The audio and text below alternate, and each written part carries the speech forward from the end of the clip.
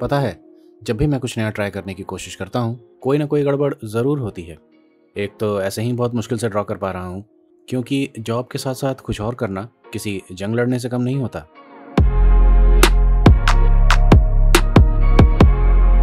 अब जॉब भी ज़रूरी है, क्योंकि पापी पेट का सवाल है, और आर्ट से मोहब्बत है। इसलिए किसी भी हाल में आर्ट से दूर होना नहीं चाहता।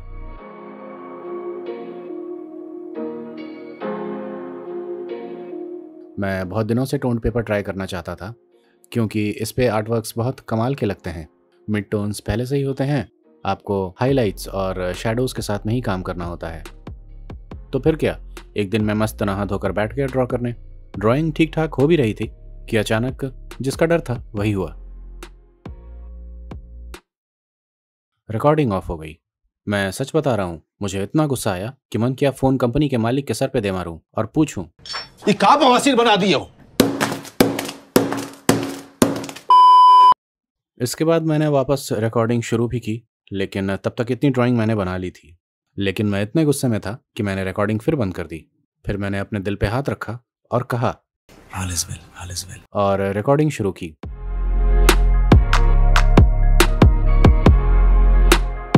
अब जो है सो यही है इतना ही है।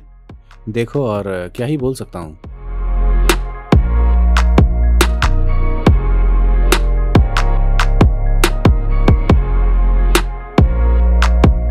कभी कभी मन होता है कि ये सब कुछ छोड़ दूँ लेकिन फिर मुझे महावीर जी की बातें याद आ जाती हैं। हारना नहीं है हारना नहीं है। इसलिए बस लड़ते रहो काम करते रहो और पीछे तो बिल्कुल भी मत हटना। और आज के लिए बस इतना ज्ञान काफ़ी है।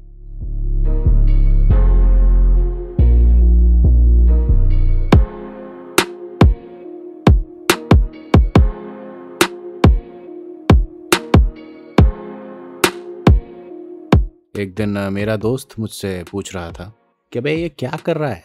पैसे वैसे कमा, दिन भर ड्रॉ करते रहता है। जिम्मेदारियाँ नहीं निभा सारा दिन ड्रॉ करके क्या मिलता है तुझे? वेल well, मैंने कहा मुझे ड्राइंग ने वो दिया जो कभी गर्लफ्रेंड भी नहीं दे पाई। मेंटल पीस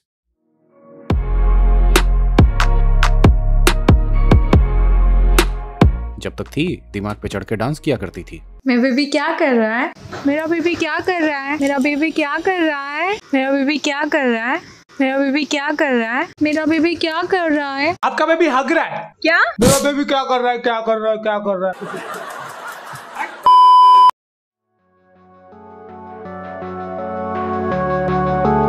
खैर, हँसी मज़ाक तो अपनी जगह है। बात करते हैं उस महान व्यक्ति की, जिनका नाम है रविंद्रनाथ टैगोर।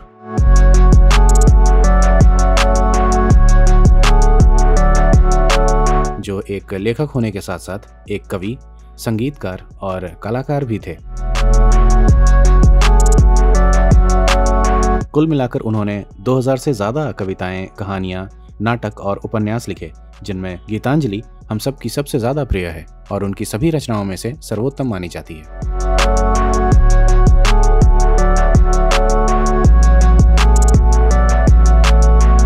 वो पहले भारतीय ही नहीं, बल्कि पहले एशियन और पहले नॉन यूरोपियन व्यक्ति थे, जिन्होंने साहित्य में नोबेल प्राइज जीता। और पता है, पुरस्कार में मिले पैसों का उन्होंने क्या किया? उन पैसों से उन्होंने बच्चों के लिए स्कूल बनाया शांति निकेतन में।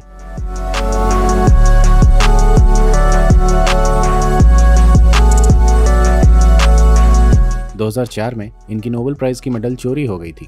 हालाँकि स्वीडिश एकेडमी ने उस मेडल के दो रेप्लिकाज फिर से दे दिए। श्री टैगोर ने सिर्फ़ हमारा ही राष्ट्रगान नहीं लिखा, बल्कि बांग्लादेश का राष्ट्रगान भी लिखा और श्रीलंका के राष्ट्रगान के लिए प्रेरणा का स्रोत बने।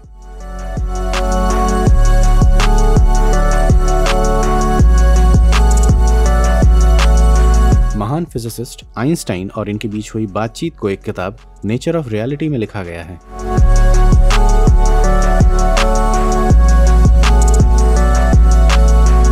इन्होंने 60 की उम्र में ड्राइंग और पेंटिंग बिल्कुल ही छोड़ दिया था, क्योंकि इन्हें भी कलर ब्लाइंडनेस थी। और जाते जाते एक और बात आपको बताऊँगा, कि हमारे राष्ट्रपिता महात्मा गांधी को महात्मा कहकर संबोधित करने का श्रेय भी इन्हीं को जाता है।